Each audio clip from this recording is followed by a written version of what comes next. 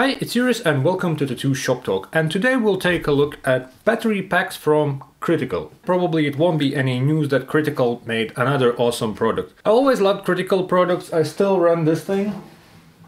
Yeah. CX1 generation 2 little power supply and I have it for around 5 years. My friend managed to broke one because he was traveling a lot. He broke it physically. So that's not a news that Critical makes good products, but we'll take a look at battery packs. I was a bit like worried or maybe scared, cautious about trying them because it's a it's a whole new territory. But you know, 2021, new year, new me, so I'll try these battery packs out. And before I get to try them, because there's some global situation happening on the planet. I'll share my first impressions, I'll share my thoughts, and I'll point out one thing that is surprising and it doesn't really sort of shows on any promo videos or reviews and that would be size and weight of those things. Let's start from the beginning, let's start from unpacking experience which is rather pleasant. They come in these little boxes.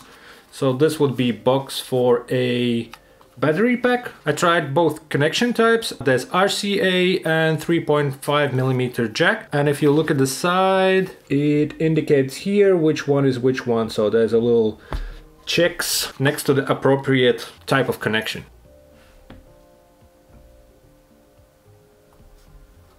So these would be the battery packs themselves. Really nice packaging. And to open them, there's this little thingy right here so you can pull it open. And one thing you don't want to do is put them other way in around because then you don't have this thing and then you have to be creative of, on how to pick the little drawer thingy out. And the battery dock. Same situation. Nice and smooth unboxing. A little polstering and there's your dock and there's also USB-C cable in here, which looks long enough. Uh, yeah, pretty long. And it's also flexible and nice to touch. Let's unpack both. No, let's not unpack both yet. I want to talk about weight of them. That's where the fun part comes in. That's why I have little kitchen scales here, so I borrowed them from my girlfriend. Let's weight them. So this is the whole box. So let's put it on. So the whole thing in a package comes in at 116 grams. And now let's weigh the thing itself, which is only 52 which is only 52 grams and this is the one with 3.5 millimeter jack connection. The other one for some reason was 54, 2 grams heavier. As the batteries themselves, when you unpack them, there's a bit of paperwork, nice info sheet, a little leaflet with product code and QR code and it's all to do with reference for warranty and service inquiries. RCA connection thing and that one would be as I said, 54 grams, so 2 grams more. And this has been on many forums where you read and ask questions about these things. Uh, often people, when they switch to those things, they are worried about weight. So will the battery add a lot of weight and will it be uncomfortable to work? I've tried before these Ink Machine Dragonfly wireless setups and I was surprised how that is not much of a problem and once you try them for a couple of times, you're pretty much used to them. Now let's speak weight. I guess my scales are not too precise. Let's try this Ink Machines battery pack and this one is 61 grams and that has no dials and numbers apart from a little LED on it. So it's lighter than pretty light battery pack and for those who haven't tried batteries before, let's just compare it to cables. And this would be the little Cheyenne's cable with 3.5 millimeter jack with converter on other side, so it would fit non-Cheyenne power supplies. So let's try to weight this one. This one is 42 grams and that's the super skinny one. But once we put something like an RCA cable, this one is a bit more like heavy duty type.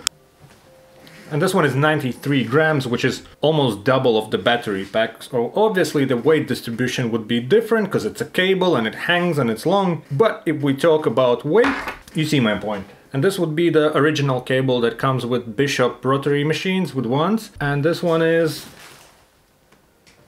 62 grams. So again, regular RCA cable is heavier than battery packs. And that's what pleasantly surprised me. I wouldn't say shocked, but I was like, oh wow, these are really light. And now let's talk about size. And that's also another thing what I really wanted to point out because for some reason they look bigger on pictures because I guess all the pictures are taken from that weird angle when it's from the like bottom up so it's all this hero type of look hero type of shot everyone is keeping them in this cool internet manner close to cameras and they look bigger maybe than they are actually but in reality when you unpack it it's like really tiny so this would be its size i'll keep it next to my let's say eyeball. If you compare it, it's actually with all the connection, it's in the size of a cartridge needle. You can see it here. Boom.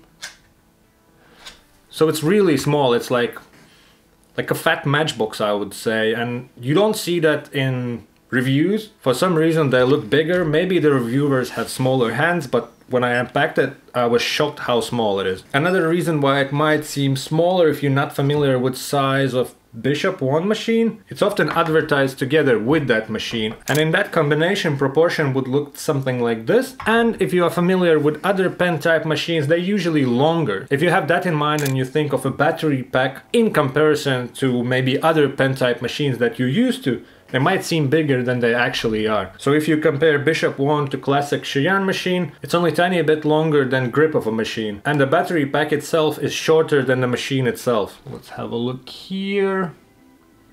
That would be the machine part and that would be the battery part and the motor. Well, at least it did confuse me, so I want to point those things out that these things are tiny and they're also super light. That would be connected to the pen type machine. It would also fit this type of a machine where the connection is on the bottom. There we go, it's there. And if we're talking Cheyenne type of machines, the old type, it goes on 3.5 millimeter jack. And one thing you should remember is to click it in completely.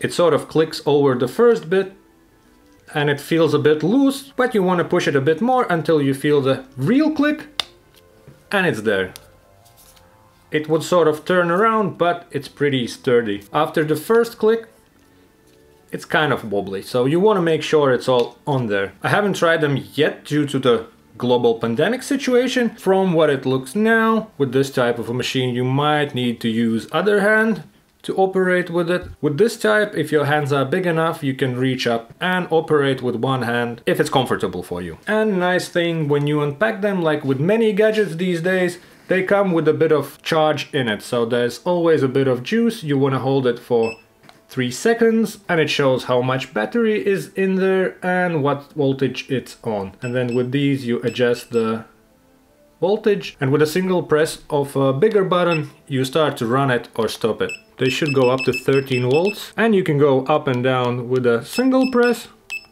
or you can hold it to make it run a bit faster and then you just run it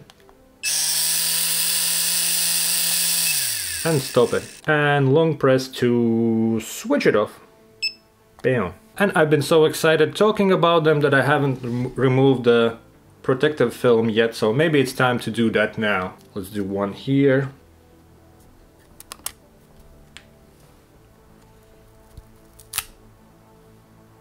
Shit. And be careful with this bottom part, because you can be like me and you can rip the plastic bit off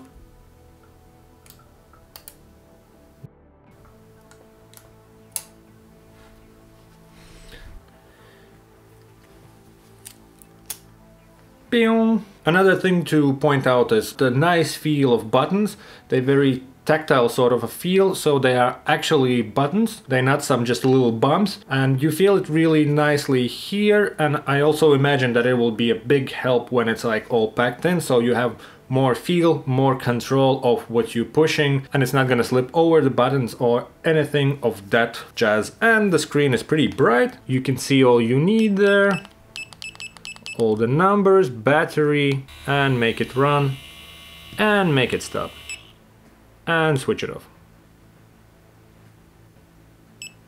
Boom. And in comparison with the regular power supply, so size-wise, kind of not too far from each other. With the cable that you need to run your machine also comes with the separate power supply. This one also needed a converter from American to European socket, while this one is this cable to charge it, and a power adapter, which you might have anyway because you have a phone, and also you might have USB-C cable. Battery packs comes with the cables, that's where the battery is, and there's also a little cable. And this power adapter came in a box just separately, so I would assume that it would come with the charging station. The recommended amount would be is to have two batteries because you can have one charging while you work with other. I wanted to try them out so I took two with different connection types. Hour wise people say they last around 5 hours obviously depending on how you work. And a nice thing with this battery dock is that the bottom part have magnets in corners so you can attach it to metal surfaces. So now it's just on the side of this IKEA cupboard, can be on top can be probably on the bottom if need be, because they stand in here pretty tight. I'm really excited to try them out. I want to try this all new workflow. I want to have less things to worry about. I want to have the whole situation more compact. So hopefully this will do the trick. Still a bit unsure, still a bit sort of scared. Will it be something for me? Because the biggest concern for me is to work without pedal and I'm not used to it. But like I said, new year, new me we are trying funky type machines, why not to try them with funky type batteries and all this wireless, cordless type of a thing. 180 grams without cables attached, so pretty lightweight as well. 202 just for the this situation without any adapters and power supplies. If you have tried these battery packs, share your thoughts down in the comment section. If you have any suggestions on what's the easiest way to switch these systems, what's the biggest challenges that are in the way and what would be your suggestions to overcome them, then leave that down in the comment section. I said, this is a new thing for me. I'm excited to try. There'll be other product reviews and also more in-depth review when I work with these a bit more. Stick around, comment on the video video, press like, subscribe to the channel, press that little bell button next to the subscribe button and see you in a future episode. Beautiful, very good. It's very small and very light. Burp. Funny? Yeah, funny gun.